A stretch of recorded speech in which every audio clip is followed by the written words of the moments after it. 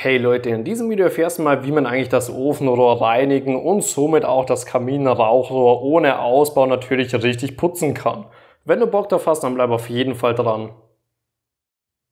Der Schornsteinfeger kümmert sich regelmäßig um die Reinigung von unserem Schornstein, jedoch nicht um die Reinigung von unserem Rohr, was direkt zum Kaminofen geht. Und hier sollten wir am besten einmal im Jahr kurz vor der Heizperiode mit so einer speziellen Ofenrohrbürste das Ganze einfach mal grob sauber machen, dass wir im Winter dann auch eine optimale Verbrennung im Ofen natürlich haben.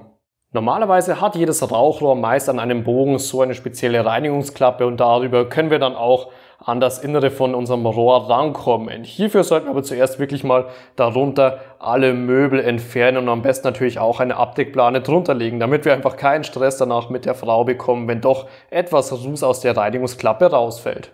Nun aber erst einmal alte Klamotten anziehen, Handschuhe drüber, eine Schutzmaske aufsetzen und wenn möglich eine zweite Person noch holen, die am besten einen Industriestaubsauger bzw. Aschesauger hier direkt hinhalten kann, damit der herunterfallende Ruß natürlich auch direkt aufgesaugt wird. Einen normalen Staubsauger würde ich nicht empfehlen, da dieser dann doch relativ schnell kaputt gehen kann und wenn alles vorbereitet ist, müssen wir diese Flügelmutter mal gegen den Uhrzeigersinn lösen.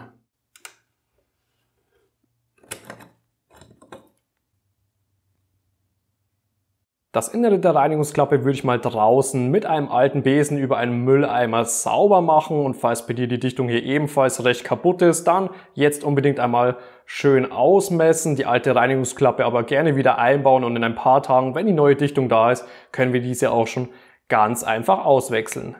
Mein Holzofen ist logischerweise aus und wir können auch erkennen, dass das Rohrinnere doch etwas verrußt ist, auf jeden Fall zum Schornstein hin und auch zum Ofen schaut es relativ gleich aus, weswegen ich am besten bei laufendem Sauger mal mit meiner Ofenrohrbürste, welche übrigens etwas größer als das Ofenrohr selber ist, den Ruß langsam aber sicher Richtung Schornstein schiebe. Ich sollte bei mir am Schornstein angekommen sein, weswegen ich meine Ofenrohrbürste mal wieder vorsichtig zurückziehen kann. Und ich dachte eigentlich, dass ich es alleine ohne Staubsauger für das Video schaffe, aber wir können sehen, hier ist so viel Ruß drin, da muss ich jetzt doch erst einmal absaugen. Je nach Verschmutzung vom Rohr sollten wir jetzt den Vorgang auf jeden Fall noch wiederholen.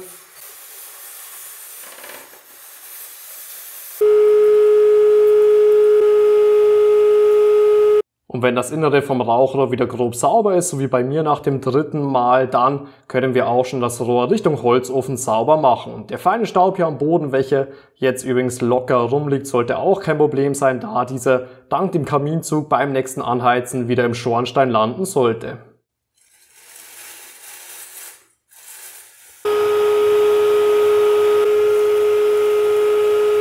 Auch das andere Rohrstück sollte wieder passen, weswegen ich mal meine Reinigungsklappe wieder aufbringen kann. Hierfür am besten die Flügelmutter bzw. das Gewinde etwas nach innen drücken, dann können wir die Reinigungsklappe auch schon auf eine Seite geben, reindrücken und sollte normalerweise auch wieder auf die andere Seite rüber gehen. Flügelmutter wieder im Uhrzeigersinn festdrehen, gerne am Ende auch eine Zange verwenden und den Kamin würde ich jetzt erst wieder heizen, wenn wir natürlich auch unsere neue Dichtung eingebaut haben. Und somit haben wir jetzt auch schon unser Ofenrohr richtig gereinigt. Wenn du dir für zu Hause jetzt übrigens einen Aschesauger, eine Ofenrohrbürste oder natürlich auch eine Dichtung für die Reinigungsklappe zulegen möchtest, dann am besten einfach mal unterhalb des Videos in der Videobeschreibung auf den entsprechenden Link klicken und du kommst direkt zu den Produkten auf Amazon vom Markenhersteller.